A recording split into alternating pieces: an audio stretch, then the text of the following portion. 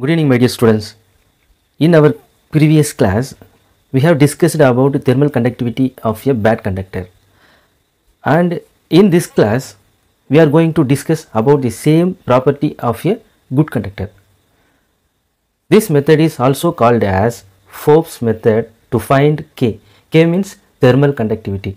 This method is one of the best method to find thermal conductivity because we can measure the thermal conductivity of a good conductor absolutely.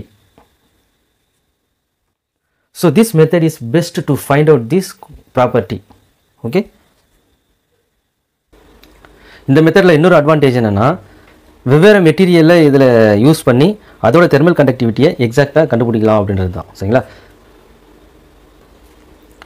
this is our experimental setup this is the steam container connected with a boiler this hole is steam inlet. This is outlet. A rod is connected with this uh, steam container as shown in figure. S is cardboard to avoid the radiation uh, from the uh, steam container. Because because heat is supplied to this rod by only the steam inlet if remove the cardboard yes the rod is received excess temperature from this uh, steam container by radiation. So this rod is randomly increases in temperature. We cannot able to uh, do the, this experiment properly. So we should uh, place this cardboard. That is more important அப்போ இந்த steam container வழியாக வெளியே பாய்லர்லேருந்து நம்ம ஒரு pipe connect பண்ணியிருப்போம் அந்த connection வழியாக steam வந்து இந்த பாய்லருக்குள்ளார வரும். அந்த பாய்லர் மூலமாக இந்த ராடு வந்து ஹீட்டை அப்சர்வ் பண்ணும். சரிங்களா? இப்போ இந்த கார்ட்போர்டை வைக்கலன்னு வச்சிங்களேன். இதில் ரேடியேஷனாகவும் ஹீட் வந்து வெளியில் வரும். அந்த ரேடியேஷனை இந்த ராடு வந்து ரிசீவ் பண்ணும்போது அது எக்ஸஸ் டெம்பரேச்சர் ஆகிடும் அப்போ எக்ஸஸ் டெம்பரேச்சரை இங்கே ரேடியேஷன் மூலமாகவும் அப்சர்வ் பண்ணும். இங்கே ஹீட்டை இந்த ஸ்டீம் இன்லெட் மூலமாகவும் ஹீட்டை கண்டக்ட் பண்ணும். இப்போ ரெண்டும் சேரும்போது ரேண்டமாக இந்த ராடில் டெம்பரேச்சர் இன்க்ரீஸ் ஆகும் அப்படின்றது தான். சரிங்களா? அப்படி அப்படி இன்க்ரீஸ் ஆகும்பொழுது நம்மளால் இந்த தெர்மாமீட்டரில் ப்ராப்பராக ஒரு டெம்பரேச்சரை மெஷர் பண்ண முடியாது. அதனால் இந்த எஸ் கார்ட்போர்டை கண்டிப்பாக நம்ம வைக்கணும். சரிங்களா? அப்போ இந்த கார்ட்போர்ட்லேருந்து ஒரு பர்டிகுலர் டிஸ்டன்ஸில் இருந்து நம்ம ரெகுலராக டெம்பரேச்சரை மெஷர் பண்ணலாம் அப்படின்றதுக்காக தான் இங்கே பிஏ லிமிட்டாக வச்சுருக்கு. இன்னொரு லிமிட் சி அப்படின்னு வச்சுக்கலாம். இந்த ராடோட எண்டு சின்னு வச்சுக்கலாம். இப்போ பிக்கு சிக்கும் இடையில தான் இந்த வெப்ப கடத்து திறனை நம்ம இந்த நாலு தெர்மாமீட்டரை வச்சு மெஷர் பண்ண போகிறோம் இது thermometer one two three four இதை பர்டிகுலராக மெஷர் மென்ஷன் பண்ணணுன்ற அவசியம் கிடையாது. சரிங்களா? அப்போ நமக்கு இங்கே ஸ்டார்டிங் பாயிண்ட் வந்து பி தான். அப்போ பி வழியாக ஒரு செகண்டில் எவ்வளோ அமௌண்ட் ஆஃப் ஹீட் வந்து பரவுது அப்படின்றத நம்ம இங்கே எழுதலாம். சரிங்களா? இப்போ அது எப்படி எழுதலாம் அப்படின்னா நமக்கு தெரியும் தெர்மல் கண்டக்டிவிட்டி அந்த பேசிக் ஃபார்முலாவை நான் மறுபடியும் உங்களுக்கு ஞாபகப்படுத்துகிறேங்க K A theta one minus theta two divide by X T சரிங்களா? இப்போது க்யூ ஈக்குவல் டு இந்த ஃபார்முலா நமக்கு எல்லா கொஷின்லையுமே பேசிக்காக வச்சுருக்கிறோம். இங்கேயும் நம்ம இதை தான் யூஸ் பண்ண போகிறோம் சரிங்களா? இங்கே பேசிக் ஐடியா என்னென்னா இந்த இப்போ இது ஒரு குட் கண்டக்டர் அப்படின்றது நமக்கு தெரியும். இது குட் கண்டக்டர் இதில் டிஎக்ஸ் அப்படின்ற ஒரு டிஸ்டன்ஸ் ஸ்மால் டிஸ்டன்ஸ் எடுத்துக்கணும் நமக்கு தெரியும் டிஎக்ஸ் அப்படின்னா ஸ்மால் டிஸ்டன்ஸ் அப்படின்னு தெரியும். இந்த டிஎக்ஸ் டிஸ்டன்ஸை நம்ம இந்த பி பாயிண்டில் எடுத்துக்கிறோம். சரிங்களா? இப்போது இந்த பி பாயிண்டில் எடுத்துக்கிற இந்த ஸ்மால் டிஸ்டன்ஸில் ஒரு செகண்டில் எவ்வளோ வெப்பம் கடத்தப்படுது அப்படின்றத நம்ம இங்கே எழுத போகிறோம் சரிங்களா? நமக்கு தெரியும் ஏற்கனவே நம்ம எழுதியாச்சு வெப்பத்தின் அளவு அதோட coefficient of thermal கண்டக்டிவிட்டிக்கே area of cross section A அதுக்கப்புறம் டெம்பரேச்சர் டிஃப்ரென்ஸ் இதை பொறுத்தெல்லாம் இருக்குது அப்படின்னு சொல்லி அப்போது இங்கே நம்ம இதே ஈக்குவேஷனை எப்படி மாற்றி எழுதலாம் அப்படின்னா பி பாயிண்டில் டிஎக்ஸ் டிஸ்டன்ஸில் கடத்தப்பட்ட வெப்பத்தின் அளவு ஃபஸ்ட்டு கே இதே இந்த ராடோட தெர்மல் கண்டக்டிவிட்டி கேன்னு நம்ம வச்சுக்கலாம். இதோட area of cross section A அப்படின்னு வச்சுக்கலாம். அதில் எந்த மாற்றமும் இருக்க போகிறதில்ல இதோட வேல்யூ என்னவோ அதை நம்ம சப்ஸ்டிட் பண்ணால் ஆட்டோமேட்டிக்காக அது நமக்கு ரிசல்ட் கிடச்சிடும் சரிங்களா? இப்போ டிஎக்ஸ் டிஸ்டன்ஸில் எவ்வளோ வெப்பம் கடத்தப்பட்டிருக்குது அப்படின்னா நம்ம வழக்கமாக ரெண்டு பாயிண்ட் எடுத்திங்கன்னா டீட்டா ஒன் டீட்டா டூன்னு சொல்லுவோம். ஆனால் நம்ம இங்கே ரெண்டு பாயிண்ட் எடுக்கல. அதனால் இந்த temperature டிஃப்ரென்ஸை theta one minus theta two அப்படின்றத வேறு மாதிரி எப்படி எழுதலாம்னா டி டீட்டான்னு எழுதலாம். இது நமக்கு ஏற்கனவே தெரிஞ்ச விஷயம். அப்போ இங்கே டிஎக்ஸ் டிஸ்டன்ஸுக்கு டி டீட்டா அப்படின்னு எழுதிக்கலாம் சரிங்களா? D theta divide by DX at point P ஓகேவா இப்போது இந்த இடத்துல இந்த ஸ்மால் டிஸ்டன்ஸில் எவ்வளோ வெப்பம் கடத்தப்பட்டிருக்குது அப்படின்றத நம்ம எழுதியாச்சு. இப்போ இது வந்து it is not a conservative system இப்போ கன்சர்வேட்டிவ் சிஸ்டம் அப்படின்னா பாதுகாக்கப்பட்ட சிஸ்டம் அப்படின்னு அர்த்தம் அமைப்புன்னு அர்த்தம். அப்போ வெ வெப்பம் வெளியவும் போகாது உள்ளேயும் வராது. ஆனால் இது ஒரு ஓப்பன் சிஸ்டமாக இருக்குது அதாவது திறந்த வெளியில் இருக்கிறதா வச்சுப்போம். அப்போது இங்கே எவ்வளோ ஹீட் வருதோ அதே சமயத்தில் அதோட சரௌண்டிங்கோட அது கொஞ்சம் வெப்பத்தை இழக்கும் அப்படின்றது தான் நம்ம இங்கே ஃபஸ்ட்டு மைண்டில் வச்சுக்கணும். அப்போது இதே ஸ்மால் டிஸ்டன்ஸில் எவ்வளோ வெப்பம் ஏற்குதோ அதே அளவு வெப்பத்தை இழக்கிறதுக்கு நிறைய வாய்ப்பு இருக்குது அந்த வெப்ப இழப்பு எதை பொறுத்தெல்லாம் இருக்கும் அப்படின்னா நம்ம இங்கே யூஸ் பண்ணுற ராடோட சில ஸ்பெஷல் ப்ராப்பர்ட்டிஸை பேஸ் பண்ணி இருக்கிறதுக்கு வாய்ப்பு இருக்குது அது என்னென்ன அப்படின்னு பார்க்கலாம்.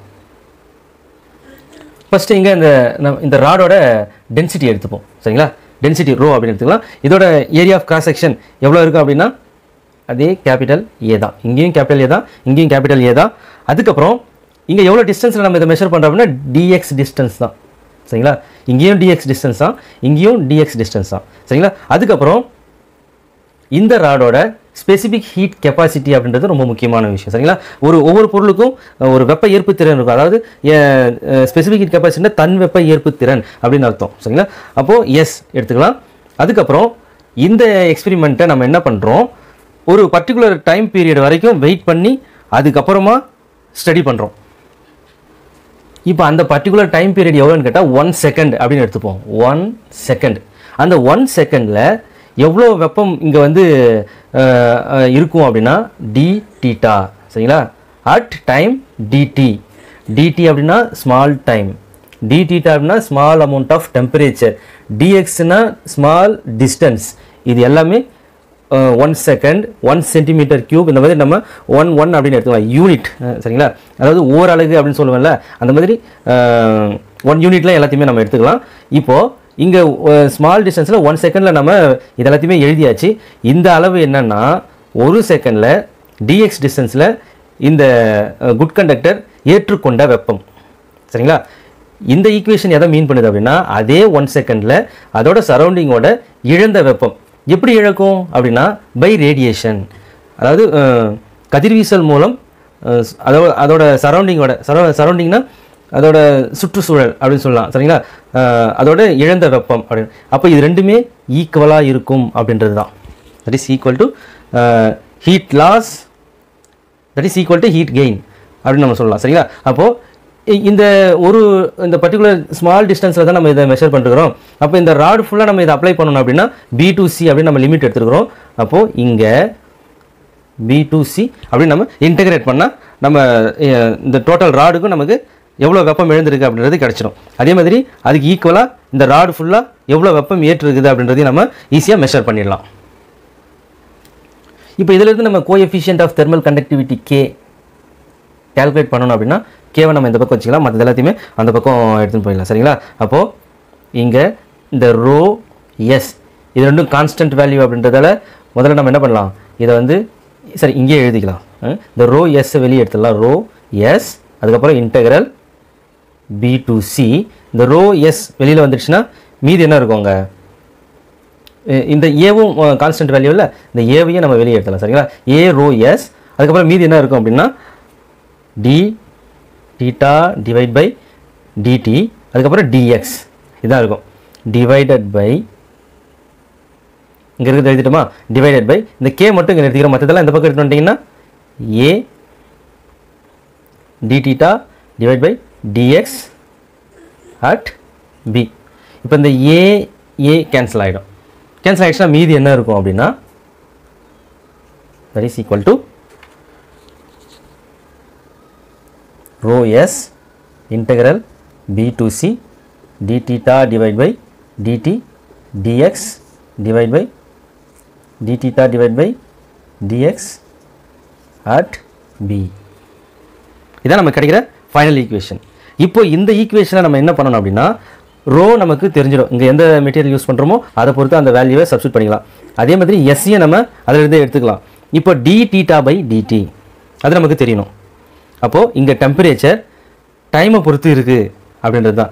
எங்கே ஒரு பர்டிகுலர் டிஸ்டன்ஸில் டிஎக்ஸ் டிஸ்டன்ஸில் அப்படின்றது தான். அப்போது டெம்பரேச்சர் டைம் டிஸ்டன்ஸ் இது மூணுத்துக்கும் இடையே நம்ம ஒரு ரிலேஷனை ஏற்படுத்தணும் ஒரு ரீடிங் எடுக்கணும். அதுக்கப்புறம் இங்கே டெம்பரேச்சர் டிஸ்டன்ஸ் இது ரெண்டுத்துக்கும் இடையில ஒரு ரீடிங் எடுக்கணும். அப்போ ரெண்டு விதமாக நம்ம இந்த எக்ஸ்பெரிமெண்ட்டை செய்ய வேண்டியிருக்குது ஒன்று டைமை பொறுத்து அதுக்கப்புறம் டிஸ்டன்ஸை பொறுத்து. இதில் நமக்கு தெளிவான ஐடியா இருக்குது சரிங்களா? அப்போது this experimental method is divided into two steps first one is static experiment and second one is dynamic method இப்போ the static experiment is to find D theta divide by DX சரிங்களா?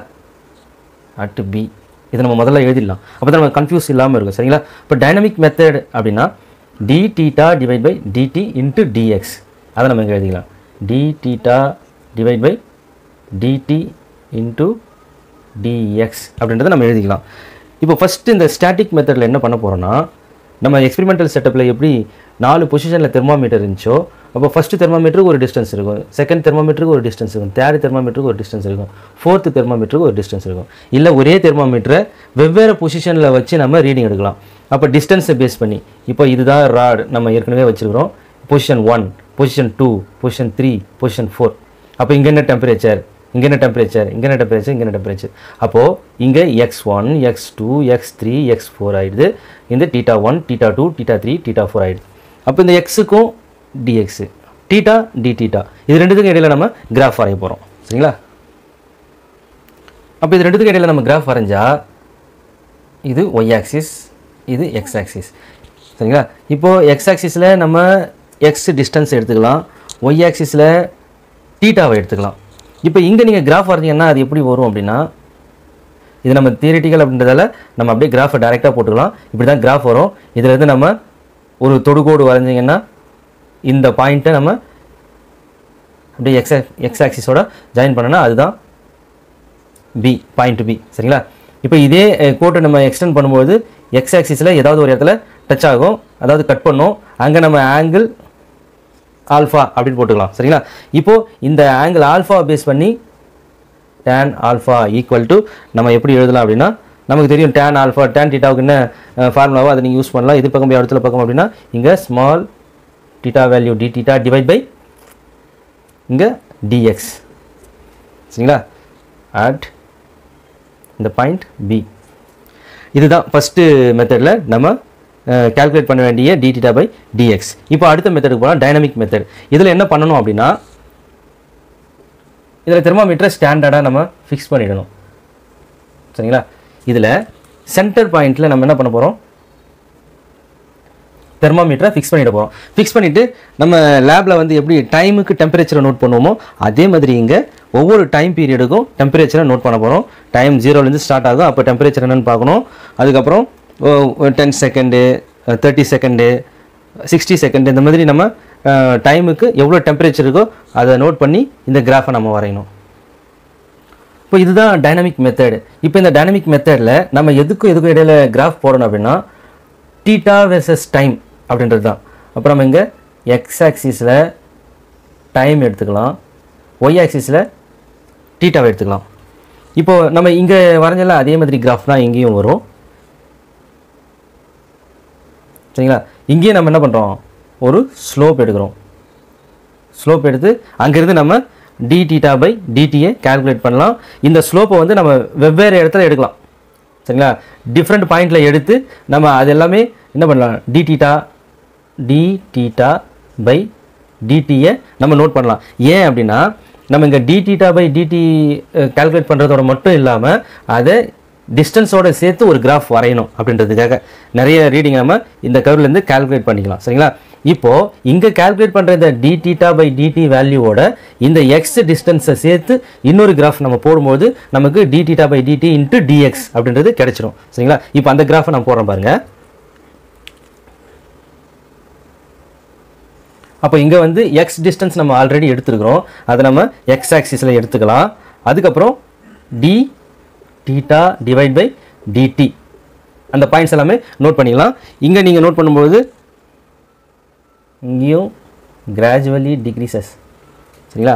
இது அப்படியே வந்து X ஆக்சிஸில் ஏதாவது ஒரு இடத்துல join ஆகும். அப்படி ஜாயின் ஆகிற இடத்துல நம்ம நோட் பண்ணிக்கணும்.